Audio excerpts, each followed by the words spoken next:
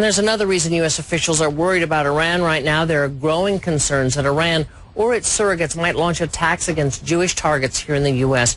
Our Brian Todd is looking into that.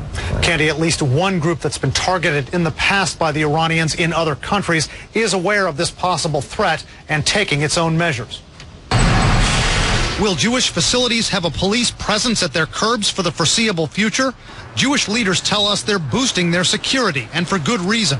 With talk of a possible Israeli strike against Iran's nuclear facilities, there's new concern about how Iran might retaliate, maybe by using its proxies like the terrorist group Hezbollah. What's Iran's capability of doing damage inside the United States?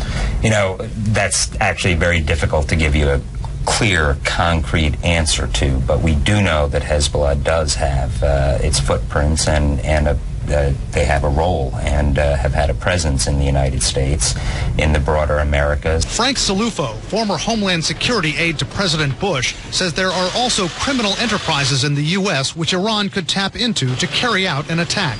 Experts say synagogues, Jewish community centers, and schools are soft targets. This joint Homeland Security and FBI bulletin sent last week to law enforcement agencies says that violent extremist groups have long advocated attacking places like this. But it also says, as of last week, there was no specific threat to Jewish organizations inside the United States stemming from those recent tensions with Iran. A Homeland Security official says there's been no change in that assessment since then. But I asked one woman about the threat as kids were let out at this synagogue. Places like this are sometimes considered soft targets. Are you concerned about that? Of course I am because I, I work in the community and I worry as not only as an individual but also as a Jewish woman. Homeland Security Secretary Janet Napolitano says her agency is monitoring the Hezbollah threat. We are uh, reaching out to uh, particularly Jewish, uh, the Jewish community across the country who uh, have been the, the intended targets in the past. Iran has proven it can launch deadly strikes on foreign soil, bombing Jewish targets in Argentina, assassinating a former Iranian prime minister in Paris.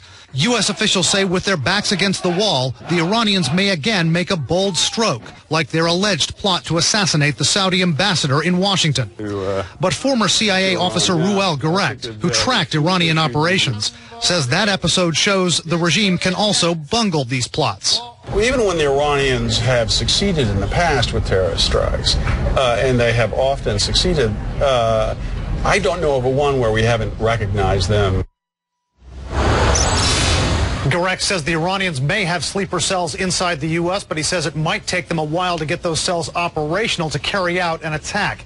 He says for that reason, if Iran is attacked, look for there to be some lag time between that and a possible retaliatory strike. Candy. But, but there is some way that more immediately the U.S. could strike against uh, U.S. interests, at least. That's right. Iran could do that. Uh, Reuel Gerecht says that uh, in the more in the immediate right after an attack, they could try to close the Strait of Hormuz, choking off U.S. oil supplies from the Gulf. He says that would, of course, provoke a, a pretty nasty confrontation with the U.S. military, but it is a way they could hit back right away, and they're right there. They could do that. Ryan Todd, thanks very much.